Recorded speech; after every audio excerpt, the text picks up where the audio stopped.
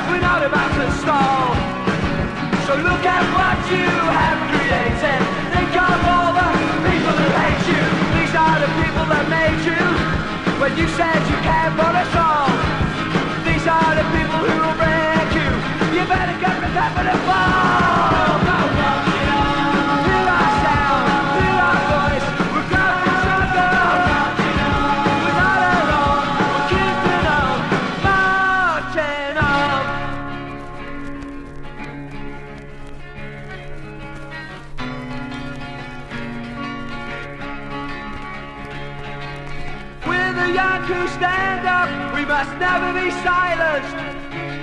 We gotta speak up now for all our sakes. Lift our voices.